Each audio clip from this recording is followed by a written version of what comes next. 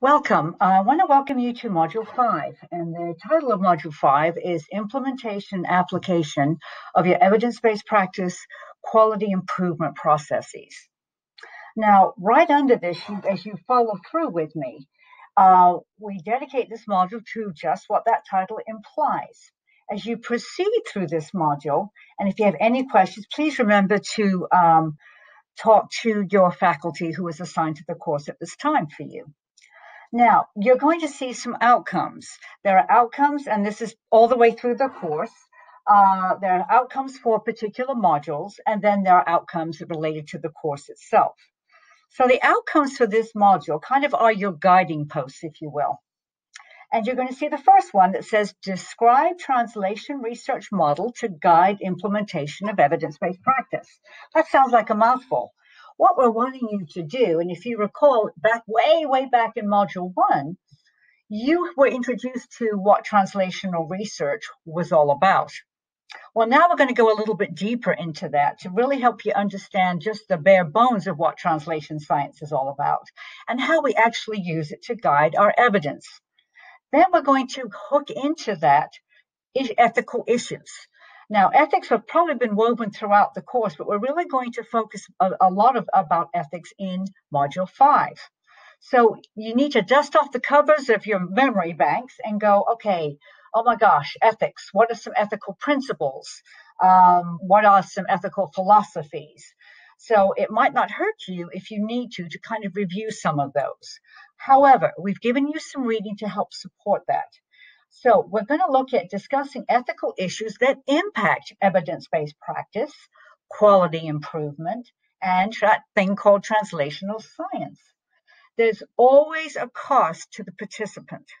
No matter what we do, how we manipulate things, we always have to keep ethics in mind. And ethics, as I tell my students in the undergraduate program, are becoming more and more complex as we move forward the ethical dilemmas you're going to deal with in your practice compared to what I had to deal with in my own, and I've been in nursing 40 years, um, is going to be tremendously more complex for you than it is for me. It's one of the prices I believe we pay for moving our science forward. There are issues I won't even have dreamed about that you're going to have to face. And certainly um, the pandemic uh, that we are experiencing now is certainly forcing our hands to look at more ethical issues. The third uh, outcome for this module is to analyze the importance of quality improvement as the foundation for evidence-based practice implementation. And finally, we're going to describe strategies and sustainability of EBP or evidence-based practice. So let's moving forward uh, you can see how these outcomes are linked to course outcomes in your syllabus. I won't read those to you, but you can read those. All of this is in support of, all the module um, outcomes are in support of your course outcomes. So let's go down your checklist because this is a thing that's going to, we're going to ask you to do. First of all, uh, we're going to provide you two articles that really talk about and describe what translational research is all about. Um, and they're very good articles and i think they get to the point very quickly you can certainly go to your R2 library, put in translation science, and actually you will see that. That's one of the options I have found, a textbook that does a very nice job of that. Also, though, there is a very nice article that's a little more succinct than that. If you, I know uh, reading is kind of difficult sometimes, but on top of those two articles, I think that you will find that will really help go, okay, I get it now. There are two YouTube presentations. They're between two to five minutes long each. And I think they'll give you a nice application of how we use translational science. One of those examples takes you through uh, how we take uh, a medication from uh, the science, from the benches, if we say, right on through to actual application, actual use of that. And that's a great way of translation science from bench, from the science, from what we have learned from research, all the way through to the patient care aspect. A lot of times, many, many um, of our studies, our research studies, are sitting in books. They're not being used. So that's why translation science came into being to get your, your, the research that we've done moved from the bench, as they say, straight directly into patient care. But safety is always paramount with this. Our second task then, we switch gears a little bit and we're helping you understand and connect evidence evidence-based practice to ethical principles and issues. And so these two um, articles really help you to kind of think about, wow, I never thought about ethically. It says quality improvement, so we automatically think everything's safe. But is it really safe? Is it really ethical what we are doing? So those are two things I think you'll find very helpful. The third task is to then address um, questions posed, which are going to be relating to an ethical issue in Module 5 discussion board. And you can read about what you need to do there. Uh, we have then another assignment for you. And everything we do, of course, if you've noticed now, is what we call scaffolding, building on previous stuff work that you have done.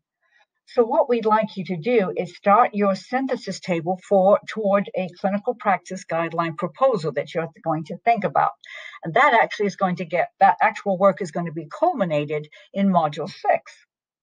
But part of that poster that we're going to have you develop, and I think you can have a lot of fun doing that, is that you have to de develop a table of evidence. You're going to synthesize that table all based on a clinical practice guideline proposal that you feel is important to future practice as an advanced practice nurse. So you will see details about that assignment, but the synthesis table is going to be based on that. And then you can move that synthesis table once we have it kind of buffed up for you and you've buffed it up for yourself. That's going to be used in, in for module six. So that's kind of nice. Finally, we wanted you to kind of um, actually work on a tool, uh, a QI tool, if you will. And we've chosen a fishbone diagram.